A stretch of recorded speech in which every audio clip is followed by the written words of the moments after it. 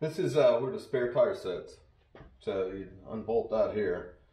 You can kind of slowly, well, if these are loosened, this rotates back. And these two straps will come out. Obviously, they would be tightened down on that. And from there, assuming that the fuel connection is loose and the uh, wires are loose, then the tank just comes right out. Right, and gonna set this down.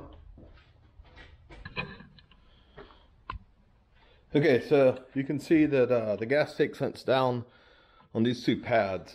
Uh, the ones that I got replacements were way too thick. So I got some smaller ones, uh, thinner ones rather. And then you've got these here. Um, before you put this on, you want to go ahead and get these wires done. Um, it's, it's kind of hard to get at the sender on the back of the tank. So you want to get that wired up. I'm running an extra ground um, from the sender. It used to use, or not used to, but it uses the uh, fuel line as a as a ground, uh, which is fine. But uh, you know, there's a lot of paint on that tank. Who knows if that's making good connection? So I'm gonna have a separate ground for that, and I'll have a separate ground for um, the lights in the back. So essentially, what I'm doing, rather than running extra grounds through the whole car, I'm gonna have local buses. So I have a local ground plane. They'll go terminate to the chassis in the back, uh, and then the same thing in the front. So hopefully that, that should help out with things. All right, I'm gonna go ahead and get a couple things on the tank and then we'll set that back in there and I'll show you the, how the wiring sets. That's the uh, sender wire there and basically what this does is there's a float in here and when it gets down to the bottom, when it's not floating, this is the bottom here, top there, um, it makes contact. So it takes this to ground uh, and then that uh, and, uh, ends up turning the light on. So you know that you're basically almost out of gas. Uh, so um, what I've done here is added this extra um, ground wire on here. This is just a, a PVC um, outdoor wire uh, stranded and then uh, I've wrapped it with um, some fabric so it sort of matches a little bit better. And we'll run this in the back along with the lights and then run this uh, to the chassis somewhere uh, rather than relying on um, what would have been the uh, copper fuel line coming in, which would have been grounded to the chassis and then coming in and then uh, actually grounding that. So.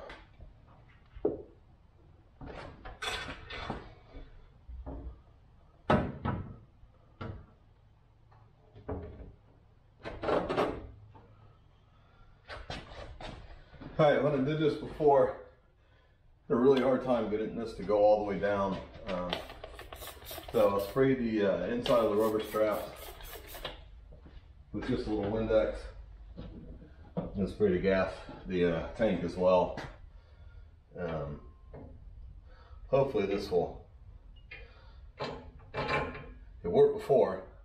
Had to put uh, longer bolts in, like pretty much all the way out to here, and then just sort of crank this down a little bit to get it in. Definitely nerve wracking.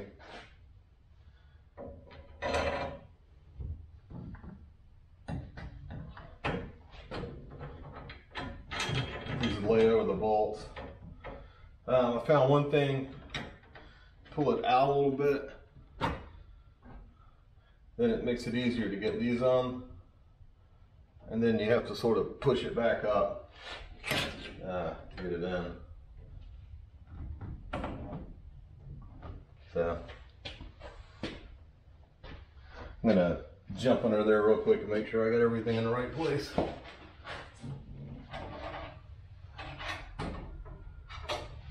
Yeah, that's good.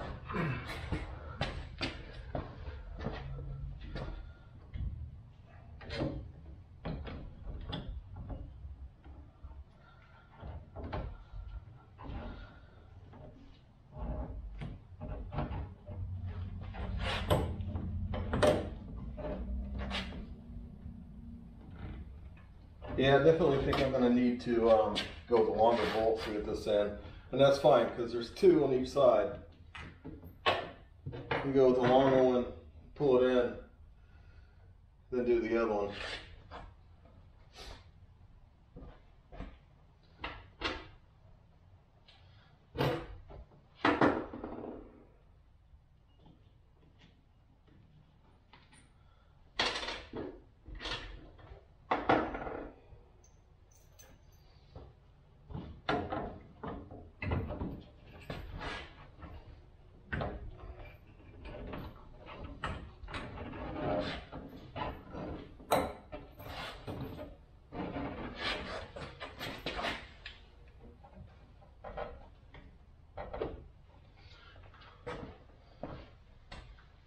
Also, um, sort of need to reach under here and you can feel these two brackets on the end. Make sure you get the tank centered in the right spot. It's got a little bit of leeway on it.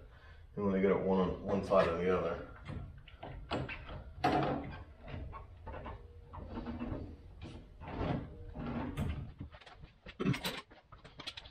Just clamp down here.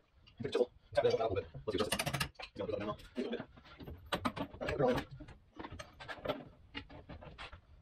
Hold on, hold on.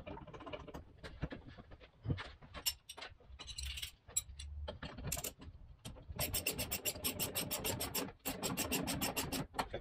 Drop it on this side.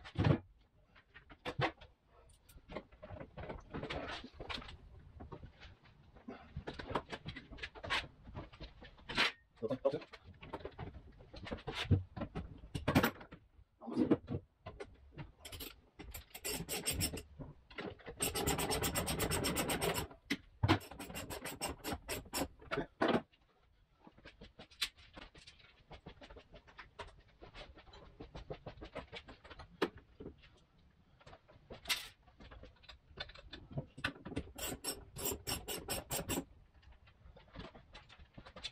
Let's see.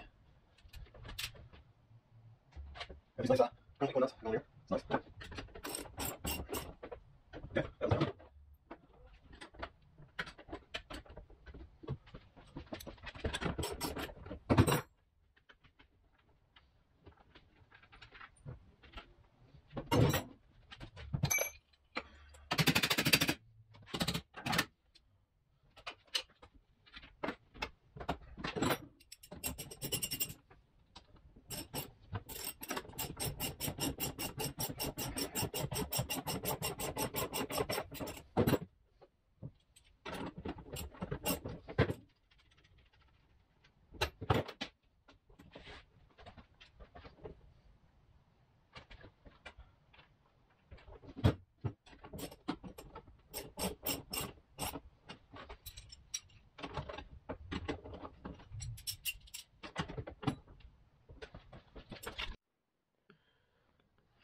So that's basically uh, what you end up with.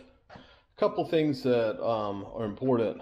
One, you definitely need to put these side panels on before you put it on um, because they're going to be crammed up against the back of the car. Uh, these things were originally apparently insulated or not insulated but supported with felt on the inside maybe to keep them from vibrating um, of course that just collects water and helps rust everything so um, I've got a little vinyl tube that goes over the stud that this screws into, and then that way it keeps it, um, uh, uh, does basically the same thing the felt spacer would do. Uh, so I've got that on each stud. Uh, the next thing we have to do is the thing that holds the license tag and the lights goes in here.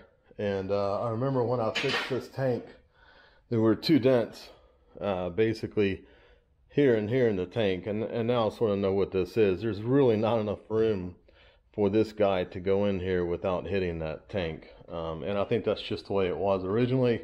It's no big deal. I mean this is the the 50s uh, different time for making the cars particularly in England. So wasn't that big a deal.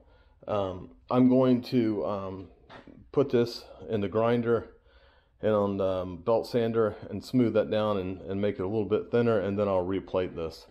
And I think that that will fix it. Um, it's supposed to be on both ends too. So I have two of these and go ahead and make that change and then uh, start working on the wiring underneath that. And then uh, I think the carpet's probably going to go in next. Just finished uh, grinding this down and sanding it. Basically, what I've done is taken the uh, you see this sort of a ridge where the casting line is on the on the back, and then uh, on this front part, and you can see it's it's pretty thick, and uh, I ground those out, and then that way it's thinner, and then uh, when we put them on the back on the spare tire carrier, you'll you'll see uh, why that's important. Because just this little amount here if you can imagine that this actually touches the tank, then that's the amount of clearance you got. So uh, once I ground the back off, that was probably enough, but then it looked strange compared to the rest of it. So I went ahead and ground the rest down and uh, hit it with a couple grits of um, paper on the belt sander. And then um, I'm not going to polish this because it, it, wasn't chromed, it wasn't stainless, it wasn't supposed to look that way.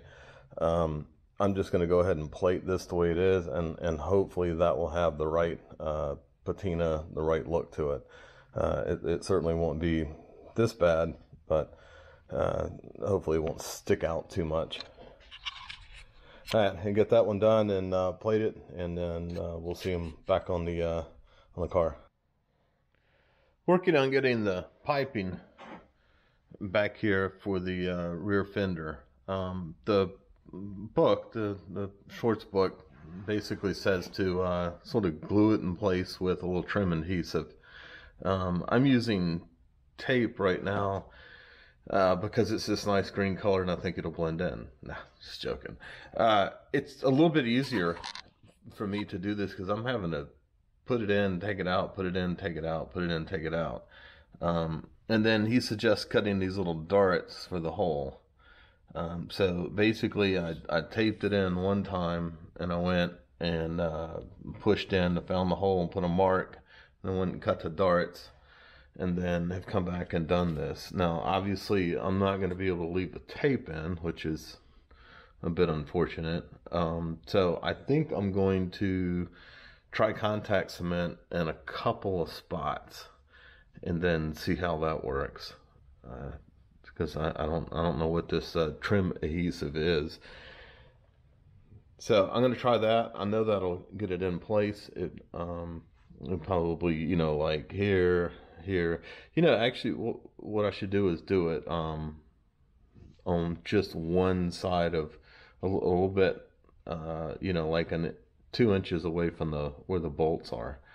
Um, I don't know. Well, I'll work something out, and then uh, we'll get this get this fender in.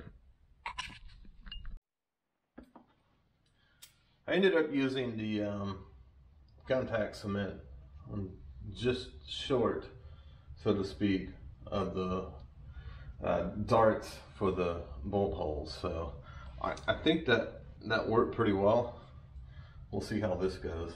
I think the basic strategy is to get uh, these guys in just loosely threaded and then see if I can and push this in. I imagine I'm probably to need a piece of cardboard to help tuck that in. So I to first get one on and see how it goes.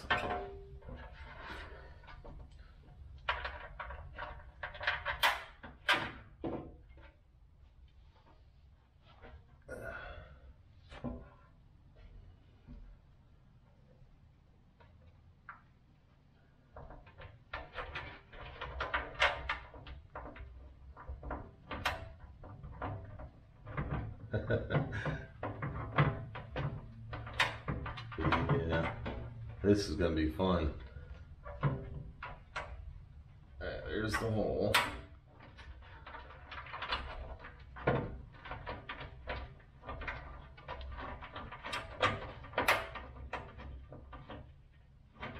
Alright, well that's one. Yeah, definitely need a little piece of cardboard to push that in.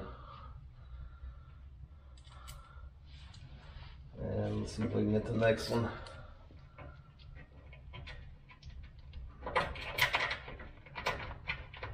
Oh, that went right in. That's helpful.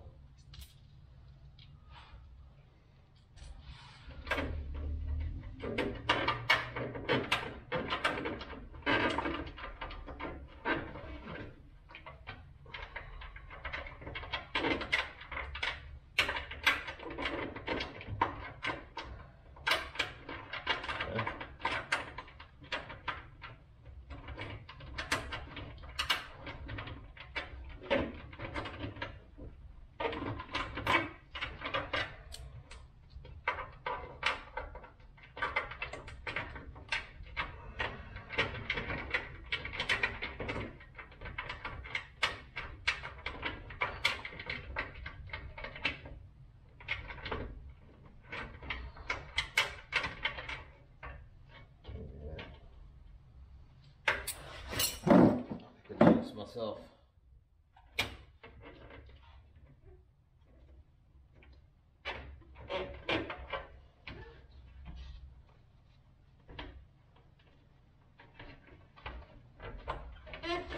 Well, that's not good. Managed to get one of these and not the right spot. That's fun. Had technical difficulties. The uh, SD card was full. All right, so I've got that in. Uh, I'm gonna tighten up these bolts on up here in the front. Uh, it's in in the back. I've got a spacer in here to get this to clear that shackle better. Uh, it, it, I guess an interesting uh, story in the progression of the MGs, how they reuse parts and change the chassis and everything. Obviously, uh, this was n- not how someone drew it up, so uh, I guess I had to come in and and um, bend these fenders to clear those shackles. It's kind of cool. I uh, when I first saw the car, I thought that they fenders, of course, they weren't on the car. I thought they were dented. Um, and find out that's just how they had to clear it. So I'm going to go ahead and snug these up. That will get this in position. Uh, do the other side, and then we'll start back at the front of the car to get the uh, radiator shell on, and then the the front fenders. Um, couple updates on this. Um, I got these support bars in, and then uh, these neat little straps that they have to hold the uh, the temperature sensor wire on.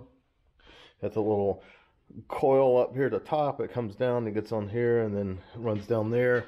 There's another one of these right here that keeps the wire harness from getting tangled tangled in the steering column. it's supported back here. Uh, I got a bunch of the other things done. Uh, this grommet that I tried to make didn't work, so I'm going to have to redo that. Uh, we got our air cleaners on. I think those look cool. Uh, originally, it had a one air filter in the middle, I think, in a like sort of a, a manifold that went up and over. Uh, this car came with with nothing. Um, and some MGA parts that looks somebody uh, looked like they had adapted. Uh, so I got these to replace that. Um, got the fuel return lines uh, or overflow, and then I've got it on the wrong side of this bearer. Um, it's supposed to be on the other side, so I need to move that. Um, uh, another detail that I'm going to have to change is this wire harness here and there actually are uh, protected by a, a vinyl. It could have been rubber or plastic tube. Uh, I guess that's maybe because these fuel filters would leak and it would go down onto that.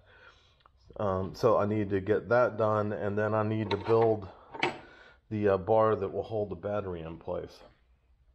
So before I start on the radiator and everything, I'll definitely will move that up to the front. Um, and then put the, the radiator shell uh, radiator shell on the um, little padding that goes in here, the um, headlight brackets, and then once that's in place, you can mount the front fenders. Got the uh, grill on now and the front fenders. Uh, these are not tightened in place yet. They're just sitting here. Uh, so I can get this um, little side rail uh, fit properly. And now you go and cut the piece of piping that goes from just in the front there all the way back to the back corner. And I think it will just be a matter of marking the spots where the bolts go through into the tub rail and uh, cutting the darts and the piping and just sort of sliding that down, pushing everything in and tightening it up. So it really looks cool. Um, it's exciting to get really, you know, to this point. You got to get the other side, uh, side rail in. It's definitely getting there. got most of the uh, back on. I got everything but I don't have the uh, little screws. It's got some chrome uh, 2BA screws that go in and then that'll hold the glass and then the chrome trim around the tail lights. So those are sitting there. They're wired though. Everything else is wired. Uh, spare tire holder is on. Um, missing uh, two lug nuts, and I got to plate that one too. Um, hope I can find another one. We got the uh, front fenders on now. At the uh, side mirror, the side lights, the headlights, at the uh, the shell, and then the grill slats in. These are supposed to be painted. Uh, I think you had the option of most of them were the interior color, which is what I've done here. Or if it was a green car or a red car, I think you could go with green or red on the exterior. Uh, I've got the uh, little splash, the apron in the front and the one on the back. Uh, so I had the bumper on the back. I have the bumper done on the front, but uh, when I was tightening one of the last uh, bolts in, the chrome on the outside cracked. So I guess when they plated it, there was a void. Um, so as soon as that uh, bolt cinched down, it cracked it. So that's basically ruined. Um, I could get it replated again, but I think it took, you know, I, I don't remember. I think maybe 12 weeks to get uh, it done, and I wasn't really happy with uh, the job they did. So I certainly to want to wait another 12 weeks and and uh, get something back that I don't like. So you can buy a reproduction uh, bumper set from Moss. So I think I'm going to go ahead. That's going to be my first option. I'm going to buy just the front. I think it's like 300 bucks. We'll put it on, see if it matches everything else. Uh, hopefully it'll fit. Hopefully the holes are in the right place. And get that in. Oh, I got the uh, little windshield wipers on.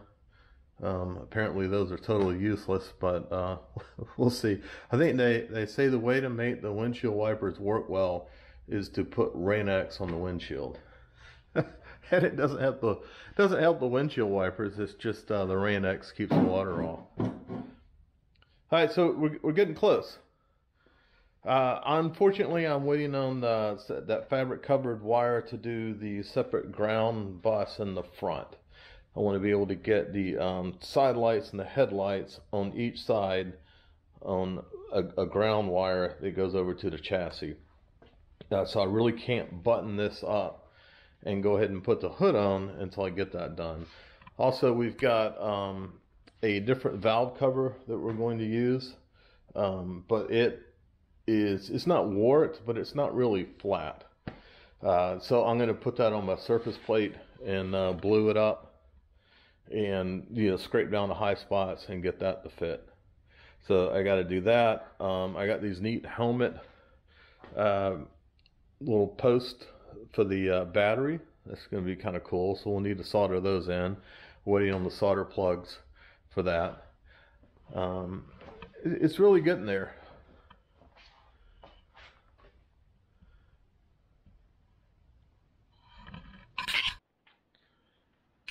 Moving right along. Got the hood on, the top as we call it here. I've gone and fit all the side curtains. I'm taking them out right now. Uh, and the reason why is these are made in two pieces with a clear plastic sewn in between. So you put these uh, the little stainless trim on, and then you mark it and you cut that out on both sides. Um, and I, I believe at least I've read they were just it's a raw edge. I know that some people cut it, fold it under, and uh, and stitch it. Uh, and so what I'm doing is something similar to that. And bring you over here. So I'm going and I've uh, gone and marked these with a, a you know, fabric marker, and then I've taken I take these off, and I'm going to take these to a uh, car upholstery shop. Uh, we've got a really good one here in town, not actually in my area, but uh, down in Chamblee, Georgia, uh, the Mad Stitchers, and uh, have them run a stitch on the this side of that line all the way around, and then cut. And so the stitch will go through both sides and then go and cut uh, just on this line here. And so that will give us, it'll still be the raw edge, but it will at least be stitched right there. And I have an older one. Uh, I don't think this is original, but it's so here's an older one, and I'm not sure if it's original or not. You can see that it is a raw edge, but it's stitched on the inside. Uh, so what I've done here is I'm going and marking uh, just to the inside of the stainless trim pieces and then I'm going to have uh, I'm going to take this to an upholstery shop in Chamblee called the Mad Stitcher great group been there family owned for many many years and have them run a stitch on the inside of this line and then that'll go of course through both sides and then go and they'll be able to cut on this line. And then they should be able to see that from this side and then cut because the stitch will be on this side. So that uh, should be their guide to cutting the fabric on this side. Um, or if that's a bad idea i'm sure the guy there will know that and he will tell me how to, to do it right but we're getting all these marked out you know take them down there and uh, and get them all stitched up and then they'll be ready to be go uh, go back on the car. All right, so what we want to do is we want to make one of these. We want our battery to look like this.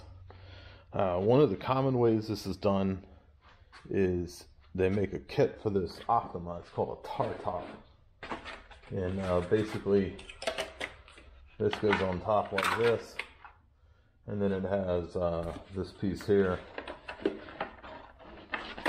It goes around and sticks like that. So, I mean, that's better, but it doesn't really look like this one. Um, one of the things that's interesting about this really is how it's made. So they had these cells, they had six of them in here, it's a 12 volt battery. And then they had the bridges between the cells, and you can see the tops right here of each cell.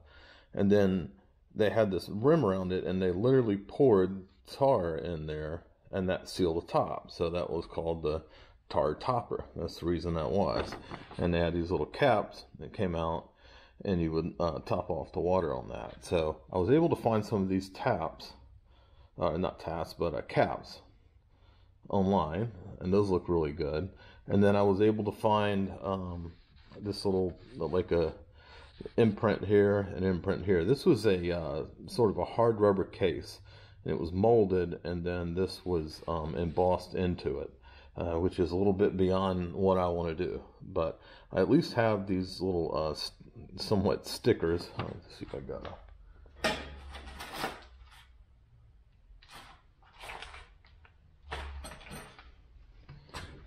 okay so I've got these guys you can see these are 3D printed out of a resin and then they can stick to the battery. Uh, it's not quite the way it was here, um, but certainly we're getting closer. Uh, and then with these tops, it looks pretty good. Um, but what I want to do is a little bit different. I want to take a battery like this and make a top that goes around here that I can have the little raised parts for each cell I can make the bridge that goes in between them, and I can have the caps in here. Uh, so the basic idea is that we're going to cut a piece of wood out to cover the top. Uh, one thing you have to not worry about, but these are vents. Now, they're not vents like you would normally have in that they're open right now. I could tip this battery over and and nothing's going to come out. But they are important because under certain charging, overcharging situations, they would vent. Um, and so I think it says here, uh, ventilate well, do not install an airtight container. So what we're going to do is we're going to cut holes for each one of these. Um, when we have our little top part, it will also have a hole. And then these guys are vented. So it's going to use the vents that are actually in the caps the way it was originally. So that's what we're going to do. Uh, I'm going to go ahead and drag the table saw out and uh, get some rough cuts in here, get some holes drilled, and start mocking this up. Alright, so here's what we got so far. Cut uh, a top piece out of uh, Luan. This is basically door skin. It's about 1 8 inch thick. Um, I've gone and put uh, 7 8 holes where these little vents are. And then I've cut, uh, this is quarter inch uh, plywood. And then I've gone and cut uh, three quarter inch holes for there. And then the idea is, is that our little um, top, little cap will fit down in that hole. So these will be glued down to this base.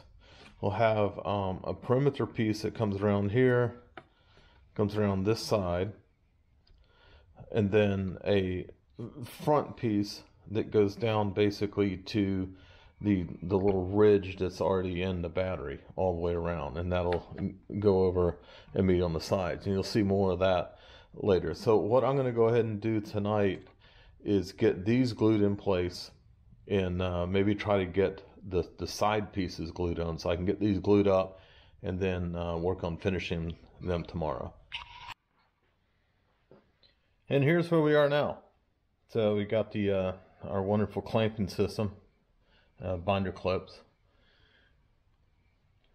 Uh, I just have these sitting in place just for, you know, to show what it looks like they come along pretty good. I kind of slowed down a little bit. Um, on the front, I was going to use this um, sticker. So I was going to have this piece. I can't really show it. But anyway, this piece in the front with this, it's a 3D resin printed uh, sticker. I was going to stick that there. And then I got a little King of the Road one go down in the bottom. I've now decided since this makes great economic sense to purchase a CNC router and uh, load the file for this in it and uh, try cutting it out.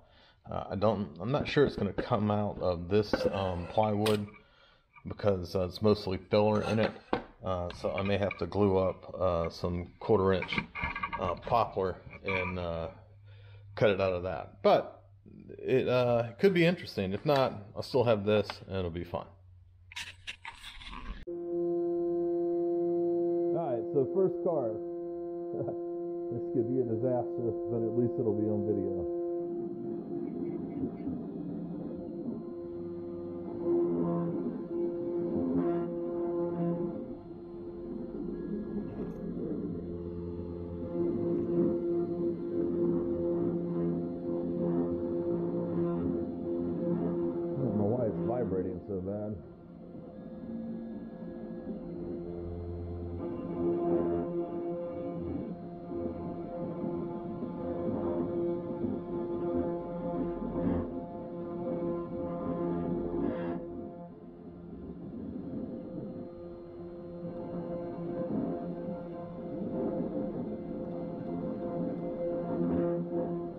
Like a disaster. I mean, guess it snapped a bit off. Um, but, I don't know. We'll get down there close. I think one thing right off is plywood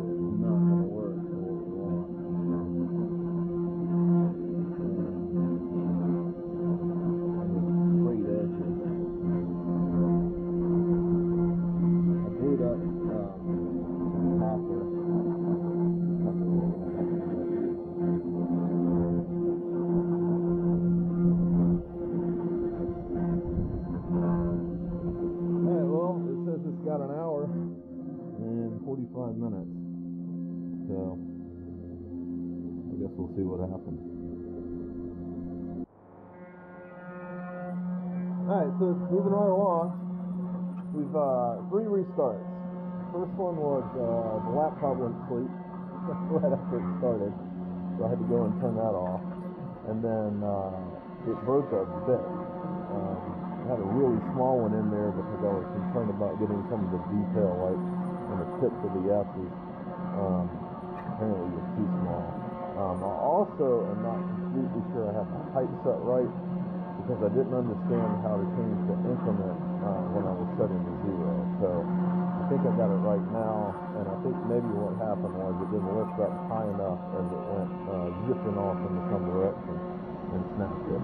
Um, I can also see some evidence like on this uh, right in there somewhere, it looked like um, it had the wrong height. It's also not uh, looking exactly the way I want it. Um, you can see in here, it's like a second step. I don't know if it's going to come in there and cut those deeper right around there or not. Um, so hopefully it does. Says it's got over an hour left to go, so we'll see. Um, definitely the wrong material. I've got some uh, poplar that I glued up. It's a solid material and it shouldn't splinter like this stuff. Um, yeah, so it went and it, it's cutting that again, so I think this is okay. Really cool machine. Definitely got to get some kind of lubrication on that. Yeah, alright, so you can see it went and took that, that little stuff I was worried about, it took that off. So that's fine. So we're good. Alright, I'll spare you the noise and we'll check back in an hour. Alright, so it's all done. So, a lot of good. Let's just start with that. Um, I've cleaned this up just a little bit, but a couple things right off. Uh, one, one lesson learned immediately is that uh, this thing's warped really bad.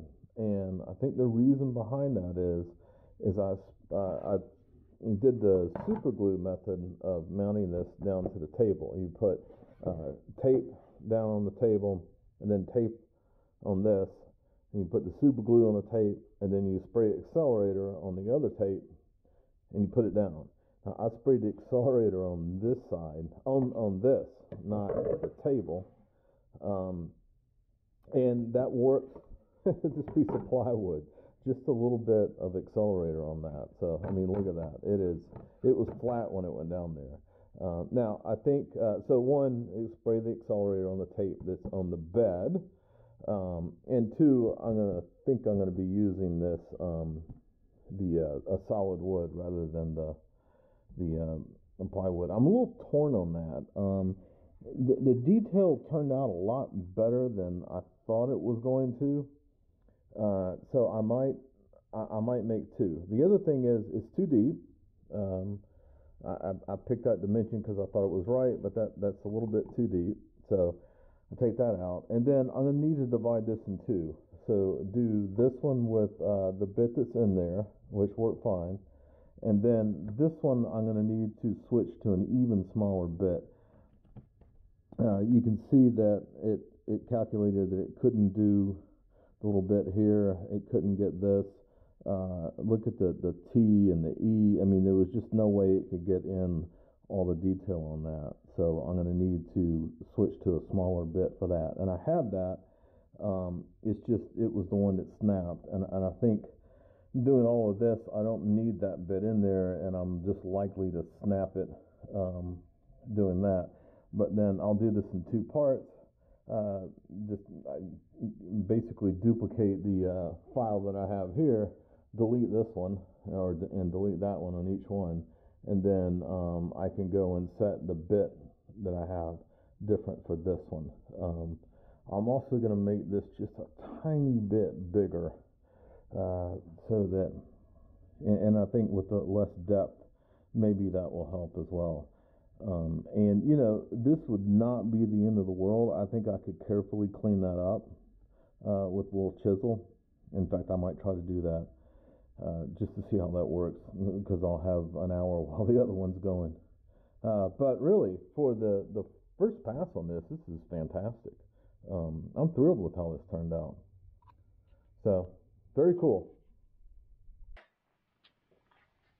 All right, so I'll go over how I set this up. do tape uh, on these two. This one, and then that one.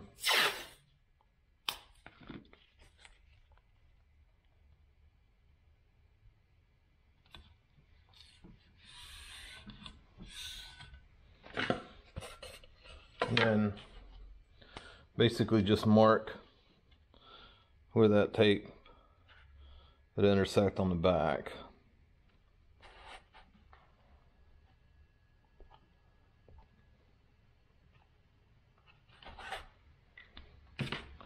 Then tape it.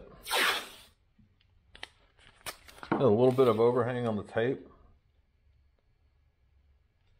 Kind of give you something to grab when you go to take it off.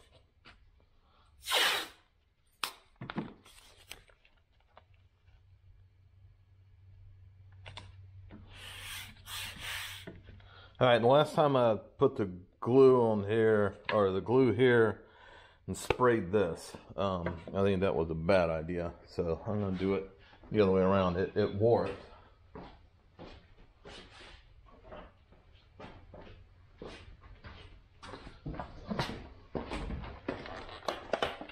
All right, so this is just your standard super glue with the accelerator.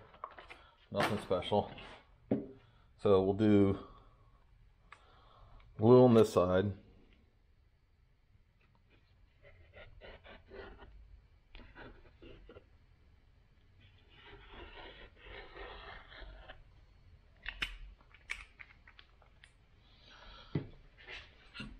And we'll uh, spray this side. You know, and, and knowing what I learned there, I'm going to go ahead and wipe off the uh, this part and get as minimal possible liquid that would touch um, this board. All right, and then you sort of hover it over where you want it. Line it up on these edges, then set it down, and just kind of hold it there a little bit. Pretty much instant. All right, that's good. Then uh, the next thing you do, I've got um, this loaded up here. I, I, just started using this easel. Um, so far, I highly recommend it. Uh, one, it controls the the printer, so to speak, CNC router. Uh, two, it's online, so I can do all the uh, work on my uh, desktop up in the office, and then uh, bring this laptop down here to the shop um, and then it automatically updates. So that's really nice. Um, so I've, I've, gone and uh, changed the depth on this. I split it into two, so the battery, uh, the Lucas Lucas part is one piece, and the King Road's the other. Uh, so we'll go here. The car uh, setting up machine was easy. I just picked uh, a generic 30 by 18. Uh, go to carve. Um, I've already measured the material. I haven't changed that. Uh, material secure and it is a uh, that's correct. And then I'm going to need to do the uh, set to zero. Now one thing that I learned and did wrong the first time was I, I couldn't understand what this meant but this you select this and then that's the distance it's going to move the X and Y. So you can start with this get close and then go down and get it exact with this. Um, so we'll do that jog the machine and that's all the way over. Then the Y move it over there.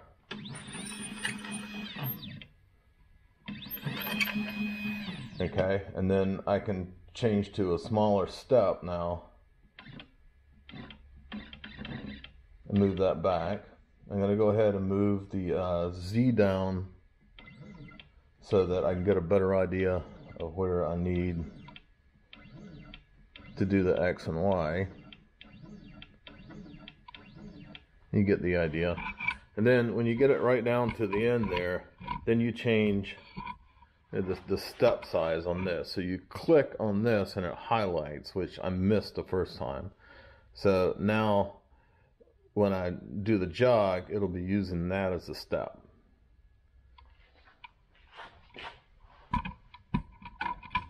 And then um, it wants you down on the surface. Uh, and I think the easier way of doing this is uh, to put a little something under there like you would set the valve lash on an engine. You would put a feeler in there Um, and so I'm using this as a feeler. And then I can feel when this uh, touches it. And go down a little bit more. I selected the bigger step.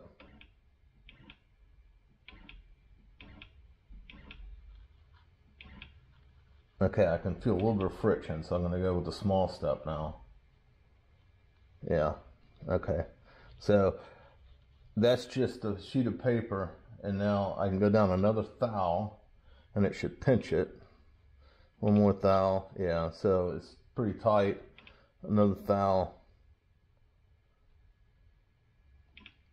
And so that should be the, the top. So it's not touching because I did have the paper in there, but um, it was tight when I pulled it out. So I feel that's good.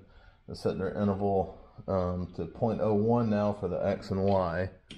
Actually, I think I can go a full inch on the X here.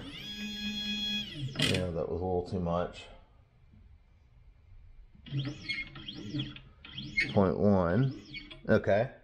And then uh, now I can move the Y a little bit. Oh, that looks really good. I go to the smaller step. Um, and I don't care that much about this on, on this one. So I like that. Okay, so now I'm going to come in and I want you to use new position. So that's good. So when you break your bed off and have to restart, it, you can use the old position.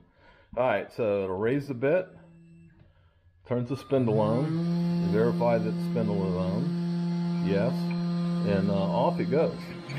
So, pretty cool.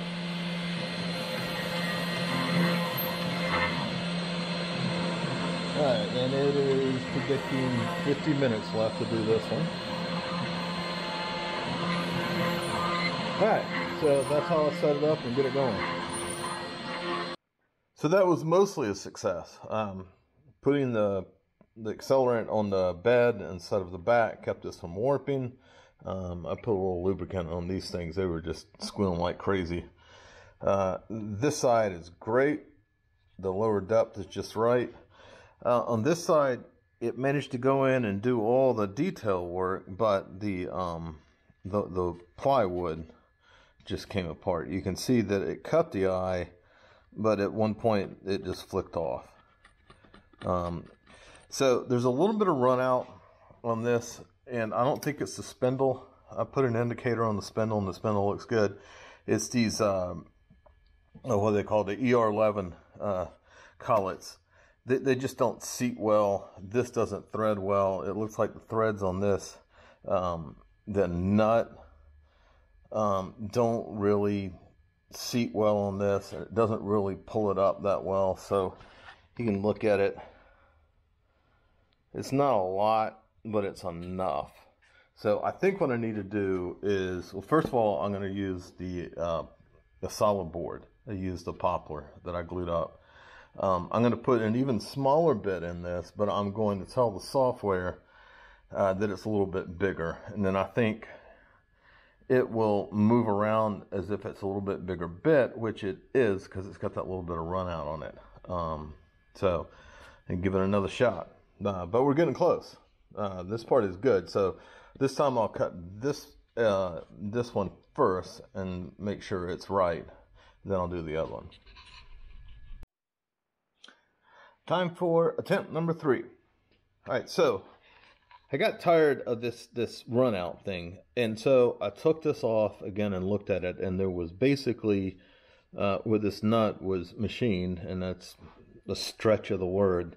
There was a burr in there, um, and I happen to have um, a file in the other size that's just right. I was able to get in there and get that burr out. So now this seats well, and I mean, you, you can't see anything, but that's good because the run out is very, very minimal.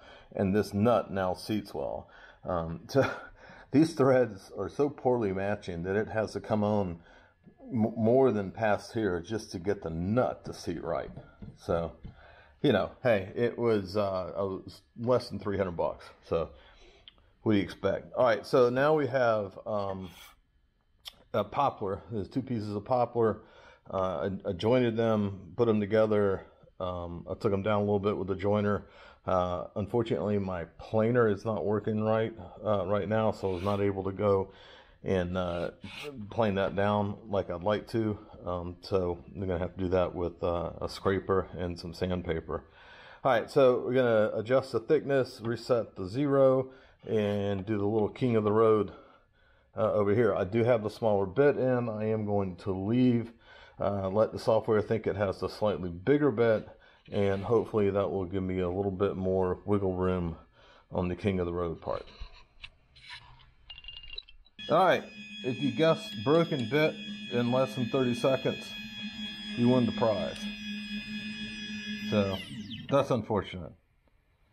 And uh, I selected a material as well, so I think, uh, I don't know, I have to go run out of small bits. I got one more, and we'll, we'll see where we go on this. Maybe I change the material to hard maple, and maybe it'll slow down. All right, let's go with the over under on 30 seconds. Oh, well, actually, we'll probably make it because they're already up the Uh, when I wrote the bit before, I was quite surprised to find out how well it went through the old one and didn't really make a sense. Now, this is doing a little bit of more carbon, but simply because of the bit Alright, well, I think we're over 30 seconds.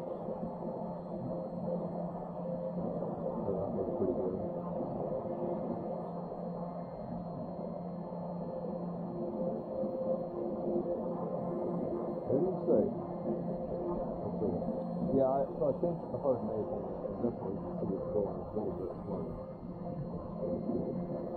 Not hard I have time for it, and I would guess that poplars probably the part.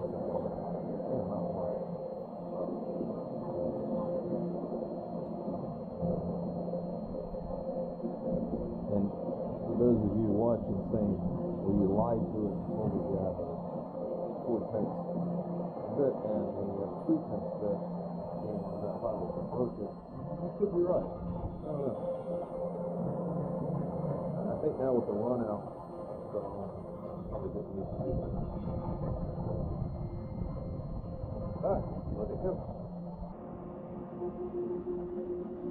This was going really well. Yeah, I like that. I did make this a little bit bigger than the uh, cab, so it's not really right. Uh, but I think that was the only way I was going to get the. Uh,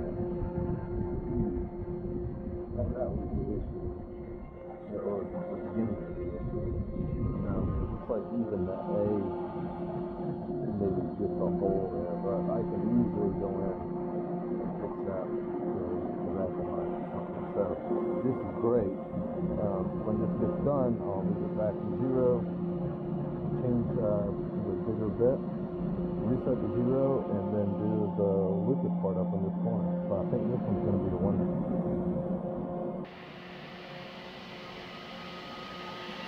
Almost done. I like how it's turned out. I still think that's a little deep, but uh, I think I'm going to live with it. We'll see if I can get this finished the way I want without something going wrong. If something goes wrong, then I'll go ahead and, uh, and do it again if it. It's not quite. Turn timer going off that was its estimate of when it's going to be done. I think it's going to be within like 15 seconds. I think this is the last pass down. We'll get right there, go over.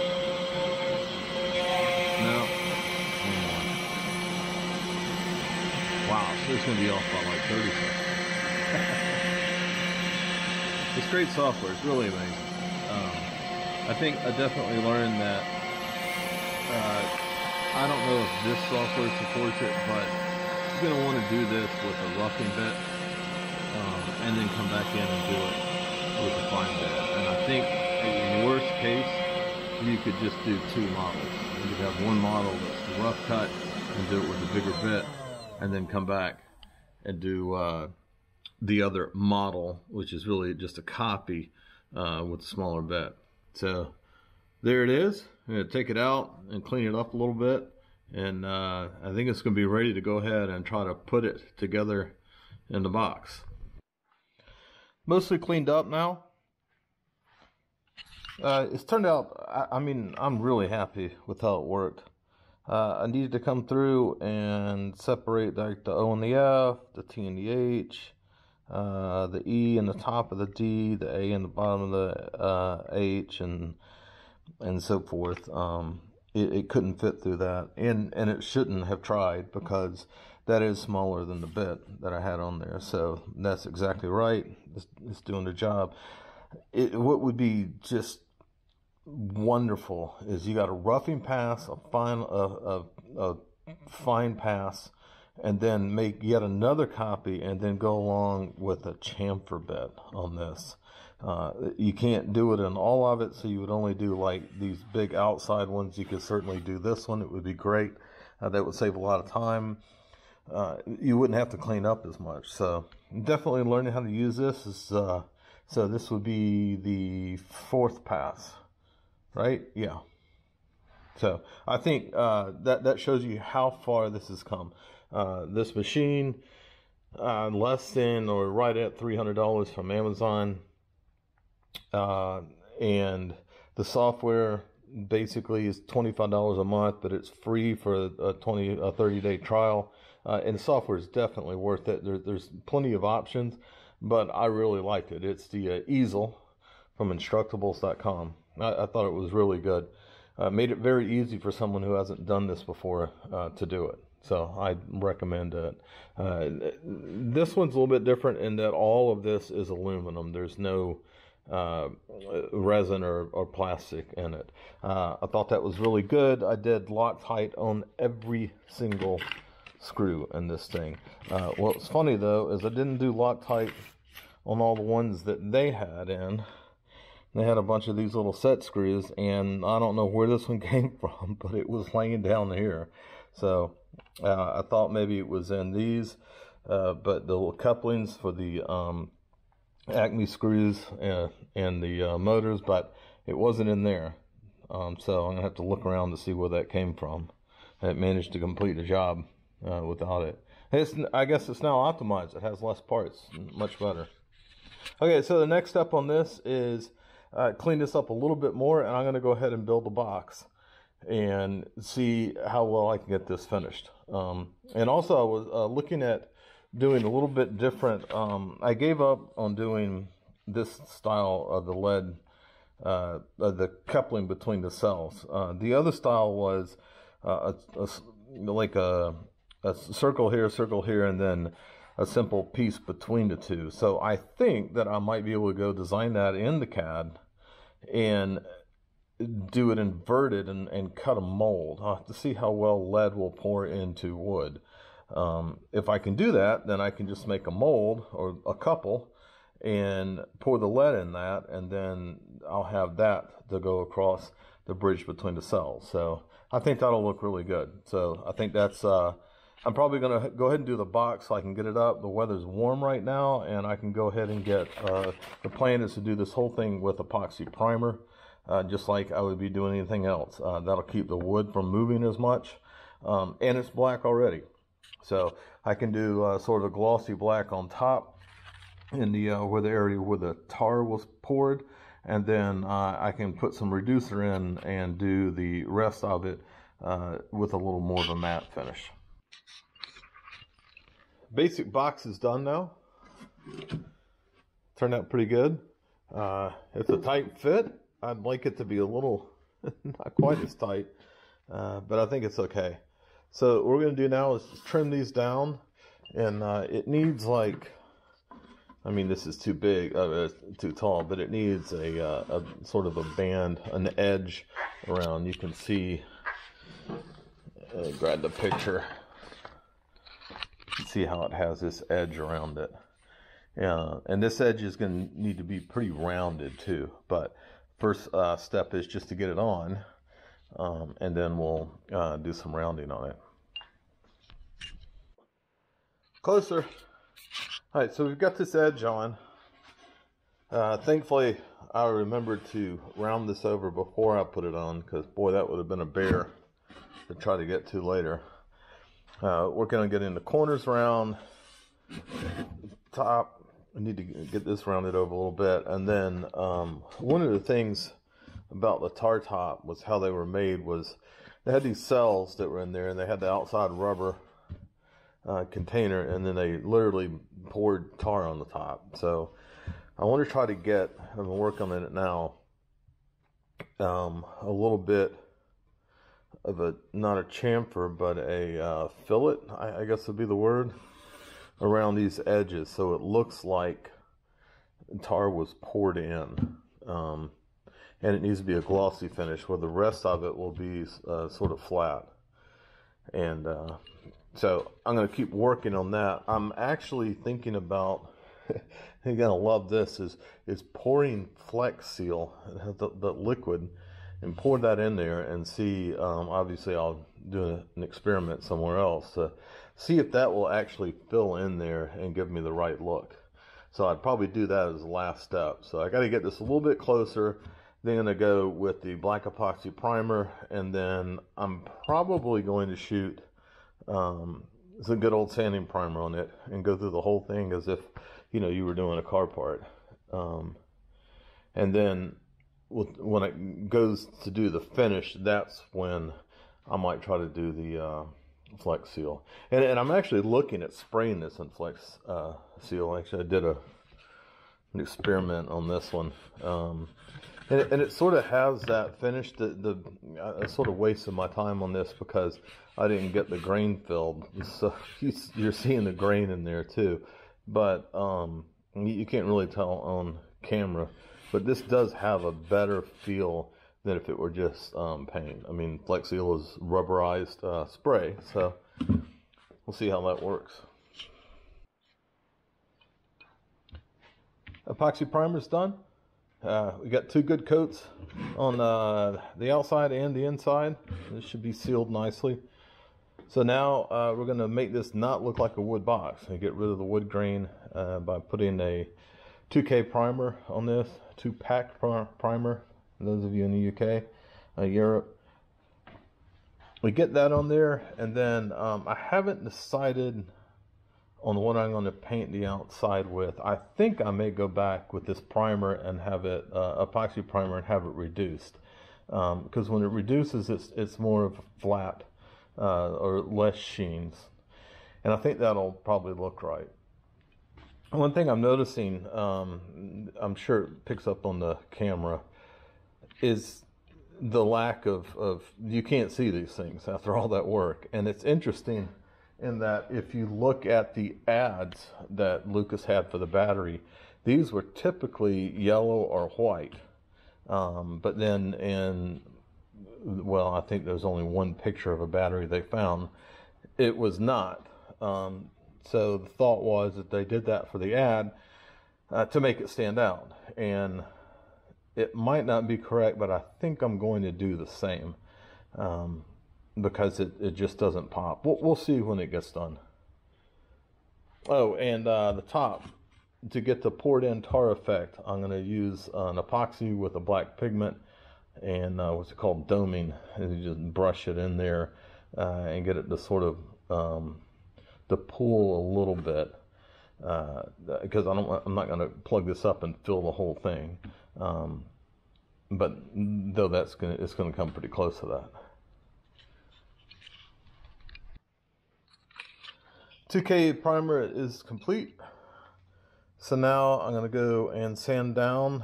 Look at some areas that are a little low, a little bit of wood grain showing here and there.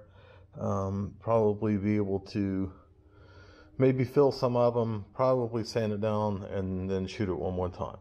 But I think we're close. Love the way it looks. All right, I forget just how much that isn't fun. But that's done now. It looks good. And uh, they're going to go ahead and get the uh, epoxy back on it. And it'll be getting even closer.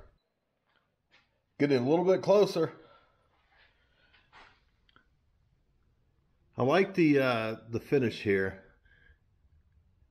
It isn't absolutely perfect, but it's pretty darn close. I sprayed a uh, basically like um, with a flex seal. You know, the one you can just you rip a hole in your boat and just spray flex seal on it and it's fine. yeah, that's about what it is. Uh, the top is just a little bit too shiny. You can see it's it's it's not glossy shiny, but uh, I needed it a little bit less shiny. So I'm not 100% sure what to do with that. What I'm trying to get is uh, when I put the epoxy in here, uh, I want it to be shiny and then this less shiny and then this very not shiny. So that sort of, this is the, um, the part of the rubber that was in the case, it was in the mold. And then this is a, a, again, I think still rubber, but it's, it's different. Um, so it was, um, shinier than this, but not, not as shiny as that is. And then this top, it was a tar and it's very glossy.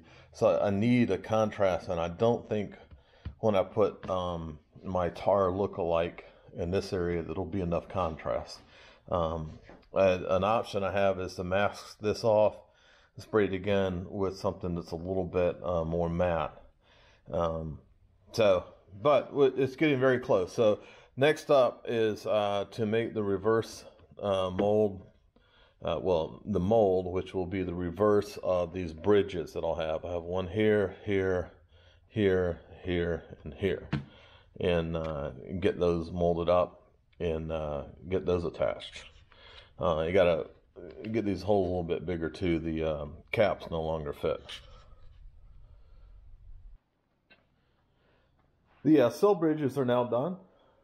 You see the, uh, this is the piece of wood I routed out to form the mold. I poured the lead in there. Um, looks pretty good. So I need to uh, put them all back in and file them down to get them flat and then uh, dress this up to make it look, uh, uh you know, like it didn't come out of a wood mold. So uh, here's what they look like on the battery. So that's what we're looking at. I'm still not happy with the sheen on this. So I'm going to try again to get it um, a little less, a little more matte, a little less gloss. Um, but to get these filed down, I'm going to drill the holes um, in there. It to uh, mount them with a little bit of uh, glue, but basically a screw coming up from the inside to hold them in place. Uh, actually, now I think about that, that's going to be Oh boy, I'm gonna have to countersink that. Yeah, yeah, it'll be fine. There'll be enough room to uh, countersink up into this to get uh, the screw to where it won't touch the battery cover. I mean the uh, top of the battery. Blah. Uh, all right, so the order on this is file these down, get the holes in there, mock them up, uh, you know, test fit, and then take those off, get this sheen cut down one more time, and then uh, the pigment for the epoxy came in. So uh, tomorrow I'll go uh, and put the epoxy in. That'll give us the tar look on the top. Uh, and once that's dry, we can uh, mount the cells. And we got to find the one of the caps. Um, I seem to have lost that. Fortunately, I haven't taken the garbage out, so it'll be in here somewhere.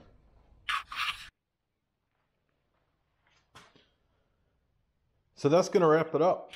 The battery is now done. I'm really happy with how the uh, tar effect came out. It's a, uh, an epoxy with a black pigment in it. Uh, I, I, think that the uh, smooth rubber came out really good. That's just a, uh, a flat black. It's been polished a little bit. And then uh, I think the real amazing part is this, this flex seal. I mean, if you, but you can't feel it through the camera, but uh, I mean, it feels like rubber because it is rubber. Rubber in a can sprayed on it. So, very happy with how it turned out. Uh, the lead thing, that, that was a blast. I haven't done that before, and that was a lot of fun.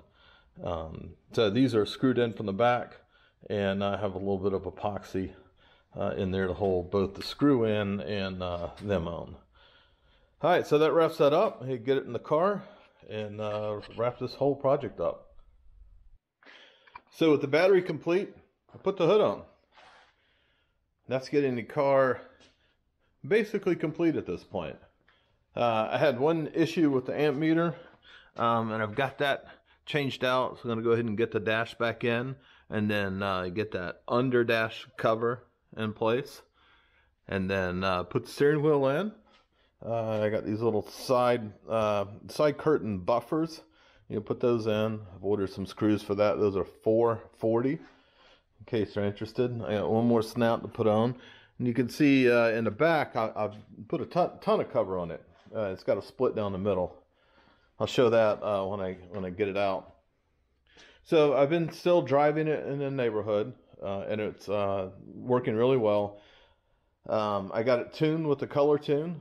It's a great device for cars like these. You basically tune it by color. Uh, it replaces a spark plug, and uh, or it's it's like a visible spark plug, so you can see um, the color of the flame, and you want to get sort of a, a, blue flame instead of an orange flame, and not a white flame, and that's uh, between rich and lean.